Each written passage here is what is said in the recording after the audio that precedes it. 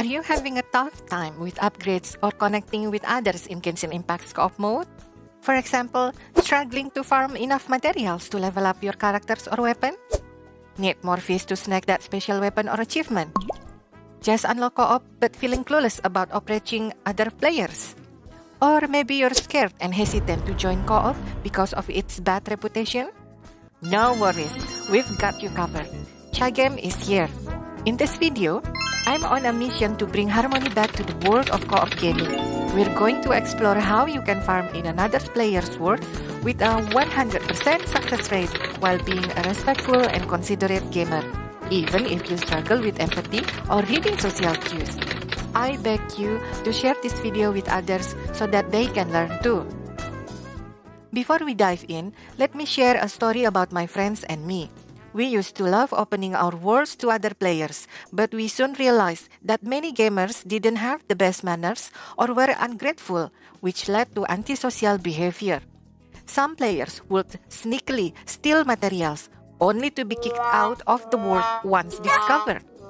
This frustrating experience taught us that being upfront and respectful is crucial to establishing trust and maintaining a welcoming gaming environment. This also made us limit our interaction to our inner circle. However, I still wanted to help people, especially those who might struggle with empathy or understanding social cues. So, I decided to create this video to guide you on the human way to interact in co-op gaming. Let's dive in and level up together. Once you've unlocked the online co-op feature, you can start joining other players' worlds. Remember to send requests one at a time, patiently waiting for a kind-hearted player to accept your invite. Don't spam requests all at oh. once because it can create confusion. We've all experienced that awkward moment when we accept an invite, but the person never shows up, leaving us hanging and feeling a bit weird. Let's avoid that and make our co-op experience smooth and enjoyable for everyone. When joining someone else's world, always remember to bring your manners and your appetite for adventure. It's like going to a fancy dinner party. You want to be on your best behavior and ready to have a good time. Co-op mode is like a box of chocolates. You never know what you're gonna get. But with these tips, you can ensure you get the best flavors. Now, let's explore three steps that will help you gain trust and build positive relationships in co op, even if you find it challenging to relate to others. Greet and communicate. Start by saying hi or hello. It's essential to communicate your intentions and ask the host for permission before taking any materials or resources from their world. For example, say, Hi, I'm Chagem. I'd like to have some interior special region materials here for my interior character here, please. So it's like, hi, I'm Chagem. I'd like to have some violet grass for my Baizhu, please. This simple act of communication is crucial to set the right mm. expectation and make others feel comfortable. If you don't speak English, use Google Translate to prepare these phrases beforehand so you're ready when you join a co-op session.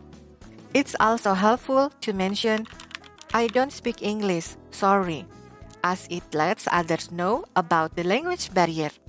By taking these steps, you'll create a more positive co-op experience for everyone involved. Show gratitude and offer help. Always thank the host like saying, Thank you, you are so kind. To go above and beyond, add let me know if I can help you with anything. This shows that you're not just focused on your own needs, but are also willing to assist the host.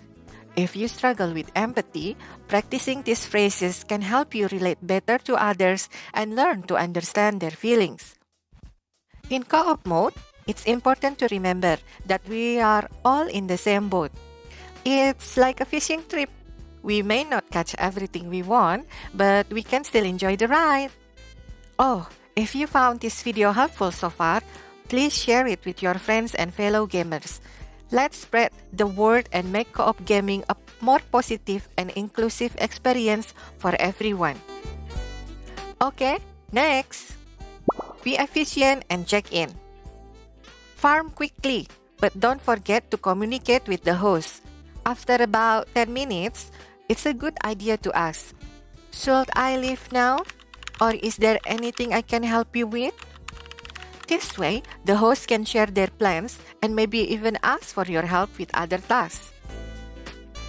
Additional tips for empathy and social cues. If you're feeling lost in co op mode, don't worry, you're not alone. We have all been there.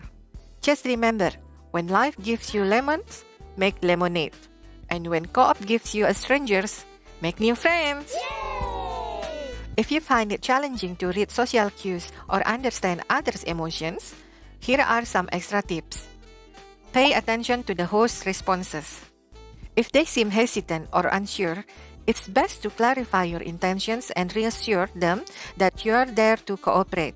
For example, if the host appears doubtful about your request, you can say, I understand if you're not comfortable with me taking resources. I am happy to help out with a task in return. Or, if you prefer, I will leave your word. Being proactive in addressing their concerns will go a long way in building trust. Look for any signs of discomfort or agitation, such as frequent pausing, sudden silence, or even typing out messages that seem tense or annoying. If you notice this, consider offering help or asking if they're okay. You can say, Hey, I notice you've been quiet for a while. Is everything alright? Let me know if you need any help or if something's bothering you. This displays your concern for their well being and your willingness to address any issues that may arise. Use emojis or in game gestures to show that you're friendly and approachable.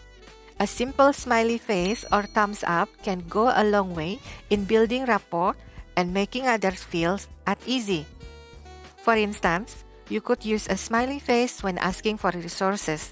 Hi, can I please farm some violet grass? Smile. Additionally, in-game gestures like waving or bowing can demonstrate your friendliness and show respect to the host. These nonverbal cues can significantly enhance your communication, especially if you struggle with empathy or understanding social cues. Joke time! Why did the gamer invite his friends over to his world? Because he needed to level up his social skills. Alright, so maybe your requests aren't getting accepted. Or perhaps you've joined a world only to face objections to your farming request. It's essential to understand that co-op's reputation has taken a hit, and not as many players are open to accepting strangers anymore. But don't worry, there is another strategy to try. Did you know that you can send friend requests to strangers in Genshin? Once your request is accepted, send the host a message like this Hey, thanks for accepting my friend request. Smile. I was wondering if you could do me a favor and open your vault for me. I really need these materials for Baizhu. More often than not, people who accept your friend request will appreciate your polite approach and be happy to help you out, granting you access to their world and possibly even teaming up for future adventures. Yay! Joining someone else's world is like being a guest in their home. You want to be on your best behavior and bring a gift like a good attitude and a sense of adventure. If the previous methods don't work, don't worry. There is a third step you can try to ensure a 100% success rate when farming in other players' world. Change your in-game signature to ask for help for other players like, please, I need violet grass from your world. There are some high-level players out there who enjoy helping others and may see your request. Kind players might send you a friend request to offer their assistance or even join your world to invite you to farm in theirs. This is your last resort to guarantee success in co op farming. If none of these methods work, it might be time to face the unfortunate reality that co op mode may be beyond saving. In this case, you might have to create another Genshin account to access materials for your main account. As you experience the challenges of gaining trust in co op again, learn to forgive and let go of any grudges or negative feelings. Remember, we cannot change others unless we start with ourselves. Begin by being the best host you can be to strangers seeking help. Small acts of kindness can create a significant impact on others. So pay it forward. Watch the movie Pay It Forward to see how it changed my life long ago. I hope my video helps you reach a 100% success rate for farming in others players' worlds. These methods have worked for me time and time again. Let's also hope this video can thaw the frozen hearts of those who have closed themselves off to strangers in co-op due to past hurts. Forgiveness is the path to true freedom. Let it go and be the change the world needs. Co-op mode is like a recipe. It takes the right ingredients and a little bit of patience to get it right. But with these tips, you'll be cooking up some great rewards in no time. Remember, our actions in the gaming world can have a significant impact on others. Let's be the change we wish to see and make the world a more harmonious place by treating others with kindness and respect. We cannot change others if we don't start with ourselves. So let's be the best host to those who ask for our help, even if we struggle with empathy. That's it for today reach a 100% success rate for farming in others players' world and encourages you to be a compassionate and understanding gamer. These methods have worked for me time and time again. Please share this video so that they can learn this skill too. As always, happy co-op gaming. Enjoy the journey. Until next time. Merci. Ciao. Say it together with me. Ah, relax.